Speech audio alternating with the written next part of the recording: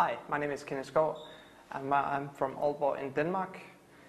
Uh, I'm an MD4 student here at St. Martinus School of Medicine. Here at St. Martinus School of Medicine, the focus is not just on academics but also on extracurricular activities. This semester I participated in the Curacao Regatta, which took place on the Spanish Water on the first week of April.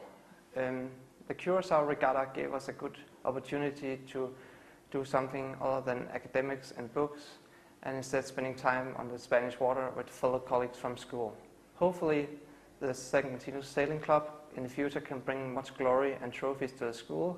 Hi, og velkommen til St. Martinus Skole om Medicin.